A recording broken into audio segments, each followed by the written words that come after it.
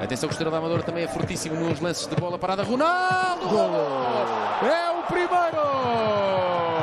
Ronaldo, mais uma vez, e vão duas jornadas consecutivas a marcar para Ronaldo.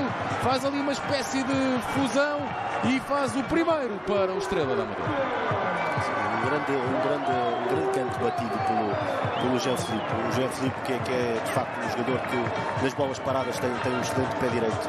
Por isso bate muito bem, bateu muito bem uh, este, este canto e depois com a capacidade física que tem o Ronaldo uh, a elevar-se e a fazer o, o, o, o golo. Um excelente golo, um excelente cabeceamento onde Felipe não teve qualquer hipótese para segurar a bola cabeceamento perfeito de Ronaldo, como mandam as regras, eh, ainda tocou na bola Felipe, mas não teve tempo para eh, desviar, não teve eh, realmente essa capacidade de desviar a bola da sua baliza. 1-0 para o Estrela Amadora ao minuto 12.